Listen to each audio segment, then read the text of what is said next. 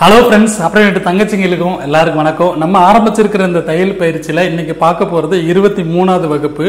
அதாவது இந்த பதிவை இப்போ தான் முதல் முறையாக பார்க்க போகிற நண்பர்களும் சகோதரிகளும் இதுக்கு முன்னாடி உள்ள எல்லா பதிவுகளும் பாருங்கள் அதாவது இந்த முப்பது நாள் பயிற்சியில் நீங்கள் வந்து ஒரு சிறந்த டெய்லர் ஆயிடுவீங்க அப்படின்னு நான் வாக்கு கொடுத்துருக்கேன். அதை நிறைவேற்றி காமிக்கிறதுக்கு நீங்கள் முழுசாக முப்பது நாள் பதிவையும் பார்த்தீங்கன்னா தான் அது சாத்தியமாகும். அதனால் எந்த வீடியோவும் மிஸ் பண்ணிடாதீங்க. இதுக்கப்புறம் வரப்போகிற எந்த வீடியோவும் நீங்கள் மிஸ் பண்ணாமல் பார்த்தீங்கன்னா கண்டிப்பாக உங்களுக்கு டெய்லரிங் சம்மந்தப்பட்ட எல்லா நுணுக்கங்களும் தெரிஞ்சிடும் நீங்கள் ரொம்ப ஈஸியான ஒரு சிறந்த டெய்லர் ஆகிறதுக்கு நல்ல ஒரு சந்தர்ப்பமாக இருக்கும். அது மட்டும் இல்லாமல் இன்றைக்கி என்ன இன்றைக்கி இன்னைக்கு பதிவில் என்ன பார்க்க போகிறோன்னா நிறைய பேர் கேட்டிருந்தாங்க ஒரு அளவு ப்ளவுஸை வச்சு எங்களுக்கு கட் பண்ணி காமிங்க அப்படின்னு சொல்லிட்டு. ஏன்னா ஏற்கனவே அந்த மாதிரி ஒரு பதிவு நான் போட்டிருக்கேன். இருந்தாலும் இப்போ அந்த தையல் பயிற்சி அதாவது புதுசாக பழகுற உங்களுக்காக திரும்ப ஒருக்க நான் ஒரு அளவு ப்ளவுஸ் அதாவது நம்ம கஸ்டம் நம்மகிட்ட தை கஸ்டமர் வந்து நம்மகிட்ட தைக்க கொடுத்துருக்கிற ஒரு அளவு ப்ளவுஸ் வச்சு ஒரு கட்டிங் போட்டு காமிக்க போகிறேன் அதாவது ஒரு லைனிங் ப்ளவுஸ் வச்சு ஒரு சிங்கிள் ப்ளவுஸை எப்படி கட் பண்ணலாம் அப்படிங்கிற பற்றி காமிக்க போகிறேன் அதில் உள்ள டிஃப்ரெண்ட் என்னன்னு பார்த்தீங்கன்னா ஒரு அளவு ப்ளவுஸ் வந்து லைனிங் ப்ளவுஸை கொடுத்துருந்தாங்கன்னா ஒரு சிங்கிள் ப்ளவுஸ் சிங்கிள் ப்ளவுஸை தைக்க சொல்லி கொடுத்துருந்தாங்கன்னா நம்ம அதை விட ஒரு அரை இன்ச்சு ஒரு இன்ச்சு டைட் பண்ணி தான் தைக்கணும். அப்போ தான் உங்களுக்கு நல்லா கரெக்டாக இருக்கும். டைட் பண்ணினா மொத்தத்துக்கு டோட்டலாக அப்போ தான் சரியாக இருக்கும். இல்லை ஒரு சிங்கிள் ப்ளவுஸை கொடுத்து ஒரு லைனிங் ப்ளவுஸ் தைக்க சொல்லி சொன்னாங்கன்னா நம்ம ஒரு இன்ச் வரைக்கும் லூஸ் விட்டோம்னா தான் அவங்களுக்கு வந்து கரெக்டாக இருக்கும். இல்லைன்னா இழுத்து மாட்டி டைட்டாக போட்டிருப்பாங்க. ரொம்ப டைட்டாக இருக்கும். அதனால் அந்த மாதிரி ஒரு வித்தியாசங்கள் வரும். மற்றபடி ஒன்றும் பிரச்சனை இல்லை. ஏன்னா சிங்கிள் ப்ளவுஸ் மூலமாக இழுக்க நல்லா ரப்பர் மாதிரி கிளாத் வரும். அதுவும் இந்த டூ பை டூ அந்த மாதிரி கிளாத்லாம் பார்த்தீங்கன்னா நல்லா ரப்பர் மாதிரி வரும். அப்போ அதே அளவுக்கு நம்ம மார்க் பண்ணி தச்சிட்டோம்னா மாட்டும் போது அவங்களுக்கு ரொம்ப கஷ்டமாக இருக்கும். அதனால தான் நம்ம கொஞ்சம் ஒரு இன்ச்சு லூஸ் விட்டுட்டோம்னு சொன்னோம்னா அந்த லைனிங் ப்ளவுஸ் போடுறதுக்கு அவங்களுக்கு கொஞ்சம் ஈஸியாக இருக்கும். அதான் அது உள்ள வித்தியாசம். இப்போ வந்து ஒரு அலோ ப்ளவுஸ் வச்சு ஒரு கட்டிங் போட்டு காமிக்க போகிறேன் அது மட்டும் இல்லாமல் அந்த நம்ம கட் பண்ண போகிற ப்ளவுஸ் வந்து என்ன மெஷர்மெண்ட்டு அப்படிங்கிறது நம்ம அளந்து பார்ப்போம். எனக்கும் தெரியாது. அளந்து நம்ம எல்லாரும் பார்க்கலாம். அது என்ன மெஷர்மெண்ட்டில் நம்ம தைக்க போகிறோங்கிறது அந்த அளவு ப்ளவுஸ் வச்சே தான் தைக்க போகிறோம் அந்த ப்ளவுஸ் வந்து என்ன மெஷர்மெண்ட் எப்படி எடுக்கிறது அப்படிங்கிற பற்றியும் நீங்கள் தெரிஞ்சுக்கலாம். இதுக்கு அடுத்து வரப்போகிற பதிவில் நீங்கள் எதிர்பார்க்குற ரொம்ப டிஃப்ரெண்ட்டான ஒரு பதிவுகள்லாம் வரப்போகுது. அதனால் தொடர்ந்து எந்த வீடியோவும் மிஸ் பண்ணாமல் பாருங்கள் இப்போ இது வந்து உங்கள்கிட்ட ஒரு அளவு ப்ளவுஸ் கரெக்டான ப்ளவுஸை கொடுத்து எனக்கு இதே மாதிரி தங்கி இது எனக்கு கரெக்டாக இருக்குது அப்படின்னு சொல்லக்கூடியவங்களுக்கு அதே மாதிரி தான் நான் தைக்கணும். அந்த ப்ளவுஸை வச்சு மார்க் பண்ணணும் அப்படிங்கிறவங்களுக்கு இது ரொம்ப யூஸ்ஃபுல்லாக இருக்கும். இதை ஃபாலோ பண்ணுங்கள் இப்போ வீடியோக்குள்ளே போகலாமா வாங்க போகலாம் இப்போ நம்ம ஒரு அளவு ப்ளவுஸ் வச்சு ஒரு கட்டிங் போட போகிறோம் இந்த ப்ளவுஸ் வந்து அவங்களுக்கு கரெக்டாக இருக்குது அதாவது எந்த கரெக்ஷனுமே கிடையாது. கரெக்டாக இருக்குன்னு சொல்லியிருக்காங்க. இதே மெஷர்மெண்ட்டில் நம்ம வந்து கட்டிங் போட போகிறோம் இப்போ இது பார்த்தீங்கன்னா இது லைனிங் ப்ளவுஸு அதுவும் இல்லாமல் ஸ்ட்ரெயிட் கட்டிங் போட்டிருக்கிறாங்க. ஆனால் இது வந்து சிங்கிள் ப்ளவுஸு கிராஸ் கட்டிங் கேட்டிருக்காங்க. ஆனால் சிங்கிள் ப்ளவுஸில் கிராஸ் கட்டிங் தான் நல்லாயிருக்கும் இதில் வந்து ஸ்டேட் கட்டிங் இருக்குது நம்மகிட்ட வந்து கிராஸ் கட்டிங் கேட்டிருக்காங்க. அதை மட்டும் நம்ம பார்த்துக்குருவோம் மற்றபடி மெஷர்மெண்ட் எல்லாமே இதே தான் இப்போ ஒரு அளவு ப்ளவுஸ் உங்கள்கிட்ட இப்படி கொடுத்தாங்கன்னா இந்த அளவு ப்ளவுஸ் நல்லா அயன் பண்ணிக்கோங்க.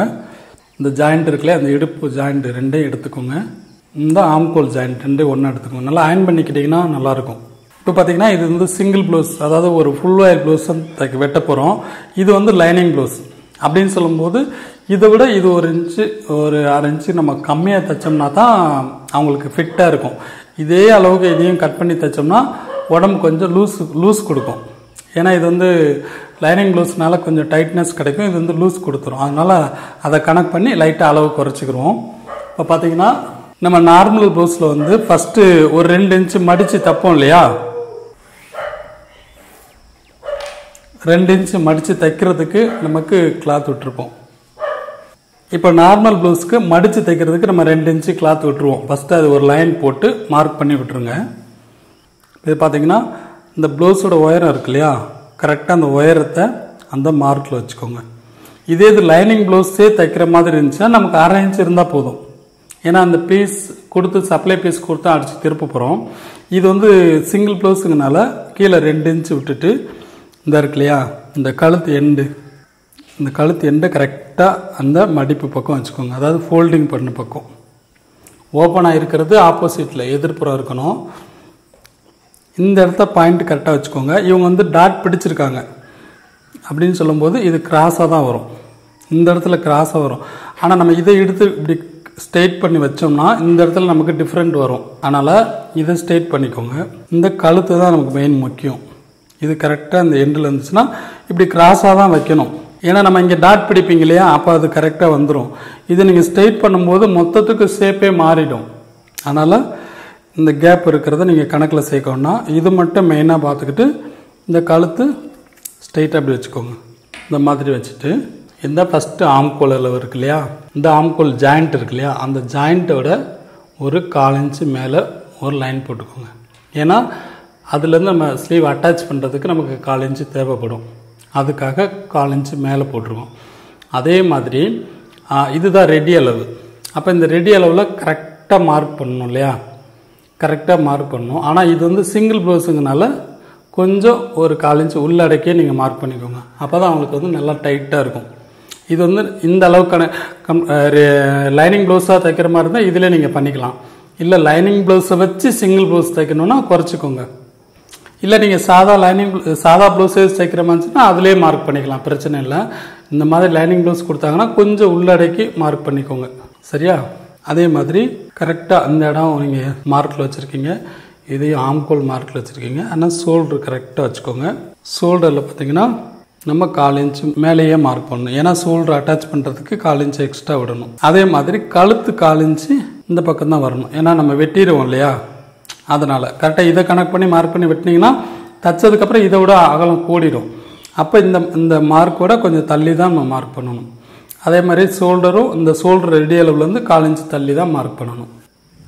இப்போ பார்த்தீங்கன்னா கீழே கழுத்துக்கு கழுத்து பார்த்தீங்கன்னா கரெக்டாக கழுத்து அளவுக்கு மார்க் பண்ணிங்கன்னா நீங்கள் வெட்டினதுக்கப்புறம் கழுத்து இறக்கம் வந்துடும் அப்போ அந்த கழுத்துலேருந்து கால் இன்ச்சு கால் இன்ச்சு நீங்கள் எக்ஸ்ட்ரா விட்டுட்டு வெட்டினீங்கன்னா தைக்கும் போது கரெக்டாக அந்த ரெடியில் வந்து நின்றுடும் சரியா? இதில் பார்த்தீங்கன்னா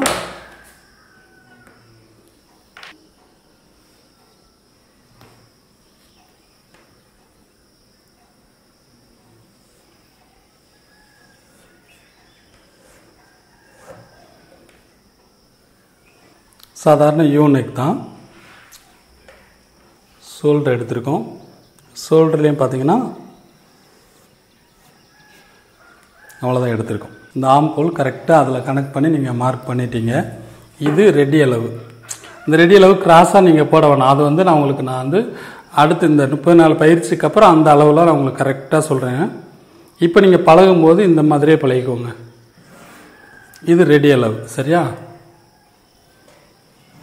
இது எக்ஸ்ட்ரா உள்ள அளவு. அதாவது உள்ள கிளாத்துக்கு விடுவோம் இல்லையா? அந்த அளவு. இப்போ நம்ம பேக்குக்கு மார்க் பண்ணிட்டோம். அவ்வளோதான் இந்த பேக் வச்சு ஒரு அளவு ப்ளவுஸு அளவு ப்ளவுஸ் வச்சு மார்க் பண்ணணும்னா இவ்வளோ தான் இப்போ இது நம்ம வந்து பேக் கட் பண்ணி எடுத்துடலாம். ஏன்னா இதிலே ஷோல்டருக்கு எக்ஸ்ட்ரா கிளாத் விட்டுட்டோம். இந்த கழுத்து தைக்கிறதுக்கு எக்ஸ்ட்ரா விட்டுட்டோம். மார்க் இங்கே ஸ்லீவ் அட்டாச் பண்ணுறதுக்கு எக்ஸ்ட்ரா விட்டுட்டோம். எல்லாமே எக்ஸ்ட்ரா விட்டுட்டோம் அப்படின்னு சொல்லும்போது நம்ம மார்க்லேயே வெட்டிடலாம்.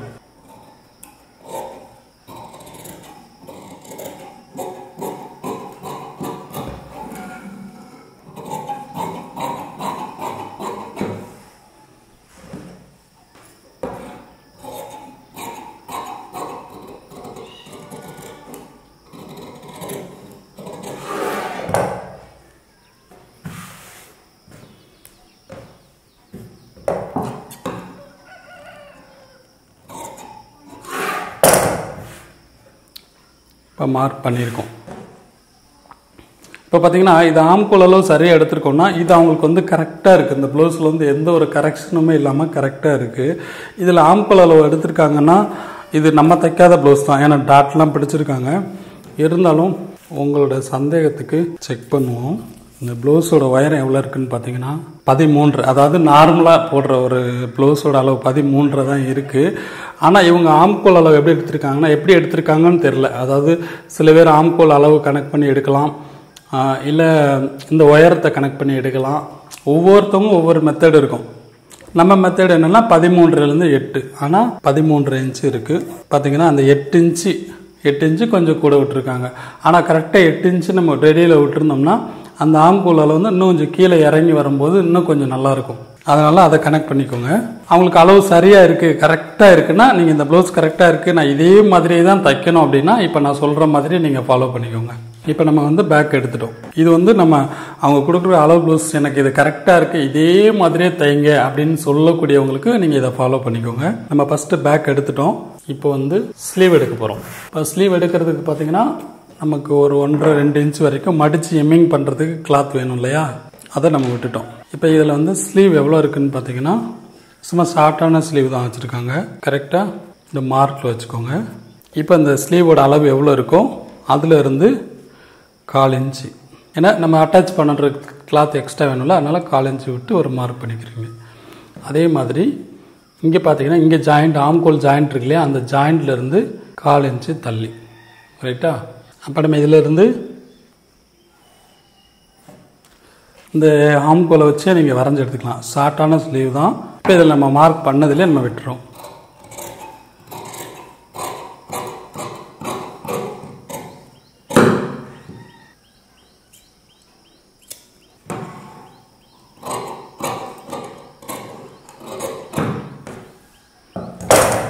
நம்ம கரெக்டாக வெட்டியிருக்கோமா இல்லையான்னு பார்த்துருக்கிறதுக்கு மேலே ஷோல்டரில் ஒரு எவ்வளோ விட்டுருக்கு எக்ஸ்ட்ரா விட்டுருக்குமோ அதையும் இந்த ஆம் கலர்லையும் கனெக்ட் பண்ணி பார்த்துட்டோம்னா சரியாக இருக்கும். இப்போ ஸ்லீவ் வெட்டிட்டோம். இது வந்து நம்ம மடித்து எமிங் பண்ணுறதுக்கு அப்போ ஷார்ட்டான ஸ்லீவ் தான். சின்ன ஸ்லீவ் தான் போடுறாங்க. இப்போ குடஞ்சி எடுக்கிறது வந்து நம்ம தைக்கும் போது எடுத்துக்கலாம். ஏன்னா இந்த மாதிரி சிங்கிள் ப்ளவுஸில் ஃபஸ்ட்டே எடுத்துட்டோம்னா கன்ஃபியூஸ் ஆயிரும். இல்லை மார்க் பண்ணிக்கலாம். ஒன்றும் பிரச்சனை இல்லை. இப்போ பார்த்தீங்கன்னா அளவு ப்ளவுஸில் வந்து ஸ்டேட் கட்டிங் இருக்குது நம்ம வந்து கிராஸ் கட்டிங் போட போகிறோம் இப்போ கிராஸ் கட்டிங் போடணும்னா என்ன பண்ணோம்னா ஃபஸ்ட்டு இந்த பேக் எடுத்துட்டோம் இல்லையா? பேக் எடுத்தது எடுத்து இப்படி ஃபுல் கிராஸில் ஃபுல் கிராஸில் நல்லா ஞாபகம் வச்சுக்கோங்க ஃபுல் கிராஸில் இந்த மாதிரி இழுத்தா ரப்பர் மாதிரி வரணும். அந்த மாதிரி ஃபுல் கிராஸில் போட்டுக்கோங்க. போட்டுட்டு ஷோல்டரை ஃபஸ்ட்டு மார்க் பண்ணிக்கோங்க. அதே மாதிரி ஆம் கோல் மார்க் பண்ணிக்கோங்க. சைடில் ஒரு கால் இன்ச் எக்ஸ்ட்ரா மார்க் பண்ணிக்கோங்க. ரைட்டா இப்போ பார்த்தீங்கன்னா இப்போ இந்த கழுத்து இருக்கு இல்லையா? இப்போ கழுத்து எல்லாம் எனக்கு அதில் உள்ள அளவே தான் அப்படியே தான் வேணும் அப்படின்னு நினைக்கிறவங்களுக்கு இது எடுத்துருங்க. இந்த ஷோல்டர் ஆம்போல் சைடு மட்டும் மார்க் பண்ணிட்டு இந்த இருக்கு இல்லையா? இந்த ஷோல்டர் கரெக்டாக பிடிச்சிக்கோங்க. இந்த ஆம்போல் கரெக்டாக பிடிச்சிக்கோங்க. கரெக்டாக அதாவது தையலுக்கு எக்ஸ்ட்ரா விட்டுருங்க. தையலுக்கு எக்ஸ்ட்ரா விட்டது போக இந்த ஷேப்பு கனெக்ட் பண்ணுறேன் இப்படி இழுத்துட்டு இப்படி வைக்கக்கூடாது. கரெக்டாக இந்த வளைவு கரெக்டாக கொண்டு போனீங்கன்னா உங்களுக்கு தெரியும். அப்போ இந்த ஜாயிண்ட் இருக்கு இல்லையா? பெல்ட் ஜாயிண்ட் இருக்கு இல்லையா? அந்த ஜாயிண்ட்டில் கரெக்டாக மார்க் பண்ணாமல் ஜாயிண்ட்லேருந்து கொஞ்சம் கீழே காலிஞ்சு ஏன்னா நம்ம அட்டாச் பண்ணுறதுக்கு கிளாத் வேணும். அதனால் இந்த மார்க் பண்ணியிருக்கோமா? அதே மாதிரி இந்த நெக்கு நெக்கு பார்த்தீங்கன்னா இதுலேருந்து கரெக்டாக பண்ணக்கூடாது. ஒரு கால் தள்ளி பண்ணணும். ஏன்னா நம்ம அதுலேயும் நம்ம பீஸ் அட்டாச் பண்ணும்போது நமக்கு உள்ள கிளாத் உள்ளே போயிடும். அப்போ அதுலேயும் காலிஞ்சு தள்ளி பண்ணிக்கணும்.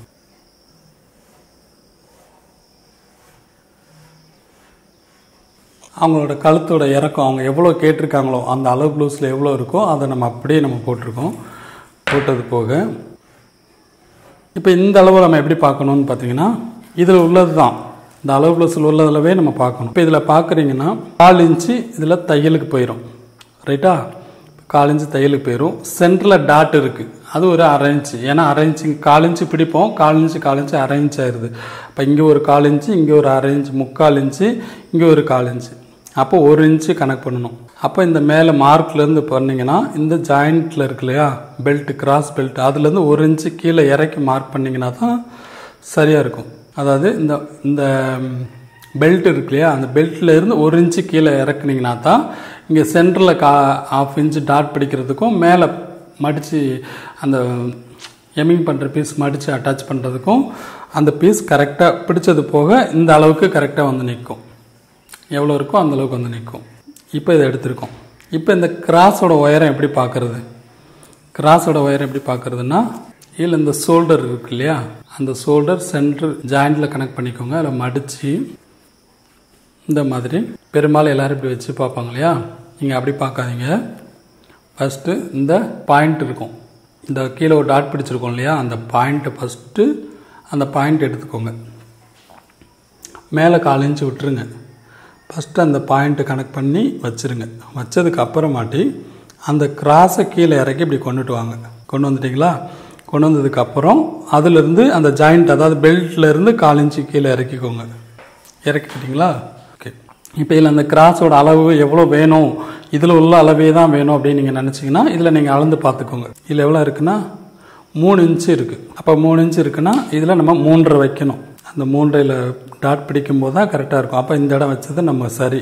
ஏன்னா அந்த டாட் பிடிக்கும்போது இங்கே பிடிச்சிருவாங்க கரெக்டாக வந்து நிற்கும். அப்போது அந்த மார்க் பண்ணியிருக்காங்க இல்லையா? அந்த இடத்துல அந்த கிராஸ் கொண்டு வந்துடணும். இப்போ இந்த கிராஸோட ஒயரை வந்து சரியாக இருக்கான்னு வச்சு பார்த்துக்கோங்க. இப்போ நம்ம இதை அப்படியே வெட்டி எடுத்துடலாம். ஆனால் அந்த கிராஸோட ஒயரை வந்து கண்ணை மூடிட்டு பதிமூன்றேன்னு வச்சிங்கன்னா அவங்களுக்கு இன்னும் நல்லா இருக்கும் இந்த அளவு ப்ளவுஸோட அது இன்னும் நல்லாயிருக்கும். இது வந்து ஒரு அளவு ப்ளவுஸ் வச்சு எடுக்கிறதுனால நம்ம அந்த மெஷர்மெண்ட்டை பார்க்காம அந்த அளவு ப்ளவுஸில் உள்ள அதே அளவை அப்படியே நம்ம வைக்கிறோம்.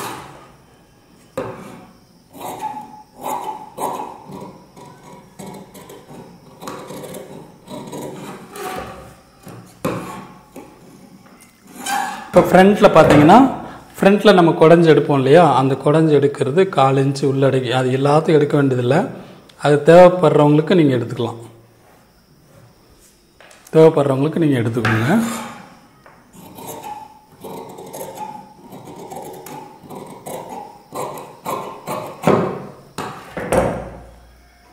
இப்போ பேக்கு ஃப்ரண்ட் எடுத்துட்டோம் ஸ்லீவ் எடுத்துட்டோம். கிராஸ் பெல்ட்டுக்கு இதிலே நம்ம ரெண்டு பீஸ் எடுத்துடலாம். எக்ஸ்ட்ரா ஒரு கிளாத் வந்து உள்ளே சேர்த்துக்குருவோம்.